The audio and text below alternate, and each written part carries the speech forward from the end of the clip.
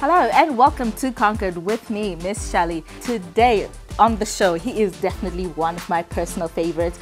It's the big dog, DJ Fresh. Woof, woof. How you doing?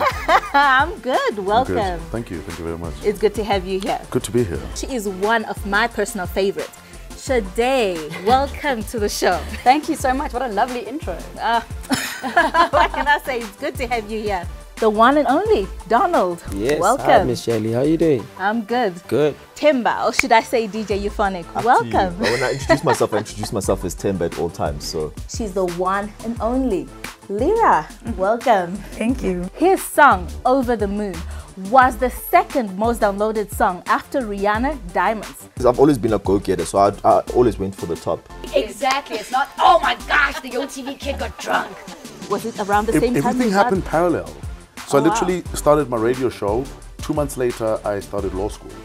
So when you dropped out of school, ah, what did your parents say? No, my parents weren't impressed, obviously. I had no money. I spent all my money. Within the first year, did you achieve what you had put in your five-year plan? Oh, absolutely not. Well, I don't want to speak for, you know, for other people, um, you know, but I'll speak for myself. I think, you know, the one thing about us artists is that we're very honest people.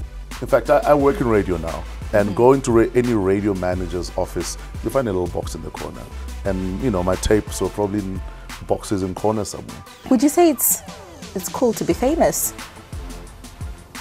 It depends.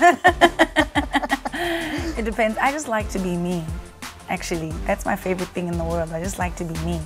Knowing who you are and what you're in here for is also very important. That my father was white and my mom was black. You know, the radio gig was not a priority at that stage because I needed to just get this diploma. so again, I did it for you, Dad. That was the big dog, and thank you for watching. Wow, Sade, it was really nice having you here.